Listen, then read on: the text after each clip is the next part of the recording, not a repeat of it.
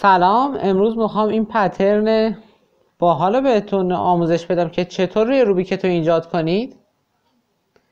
بریم سراغ آموزشش. برای ایجاد کردن این پترن باید از این فرمول استفاده کنیم. L D L2 D prime R B prime L2 F D prime R2 U L prime F R2 F prime R prime. و این pattern روی روبیکتون ایجاد میشه که قشنگ اینجا انگار یک روبیک دو در دو ایجاد شده. امیدوارم که از این ویدیو خوشتون اومده باشه. اگر از این ویدیو خوشتون اومد حتما ویدیو رو like کنید کانال من subscribe کنید. موفق باشید.